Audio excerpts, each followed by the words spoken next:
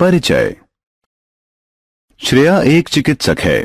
वह दस लंबे सालों के बाद भारत लौट रही है।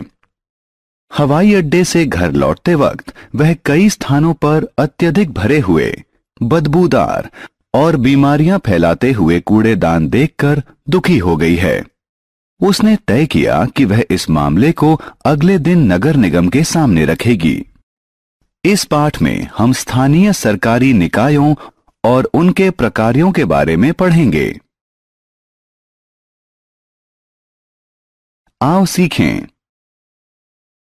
स्थानीय निकायों को परिभाषित करना। नगर निगम और नगर समिति के प्रकारों को बताना। स्थानीय संस्थाओं के आय के स्रोत बताना।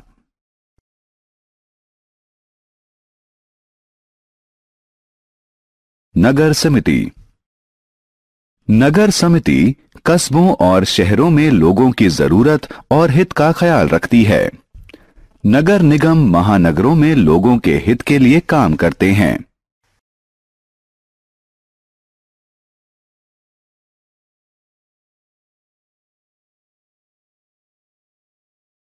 स्थानीय निकायों के सदस्य। नगर समिति और नगर निगम को स्थानीय निकाय कहते हैं। किसी कस्बे या शहर के नगर समिति या नगर निगम के सदस्यों का चुनाव वहाँ की जनता करती है। 18 वर्ष से ऊपर सभी पुरुषों और महिलाओं को नगर पालिका चुनावों में वोट डालने का अधिकार है।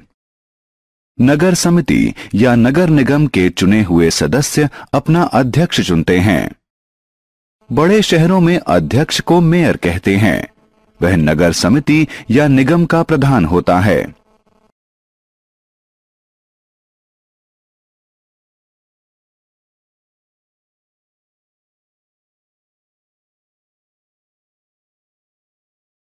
नगर समिति और निगम के प्रकार।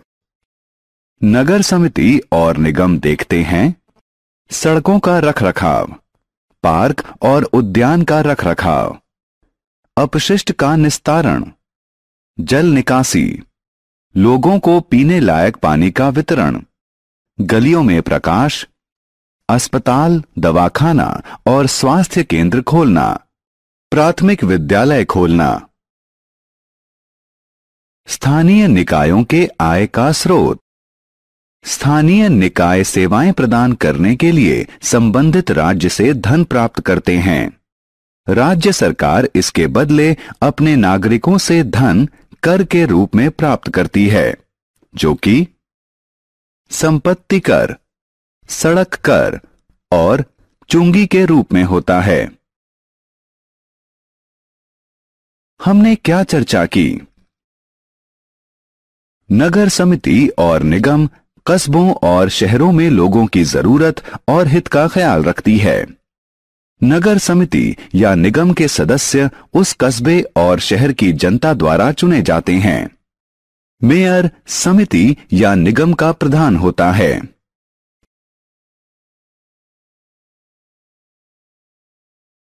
नगर समिति और निगम विभिन्न सेवाएँ प्रदान करने के लिए अपने राज्य से धन लेती हैं और बदले में राज्य सरकार जनता से करों के माध्यम से इस धन को इकट्ठा करती हैं।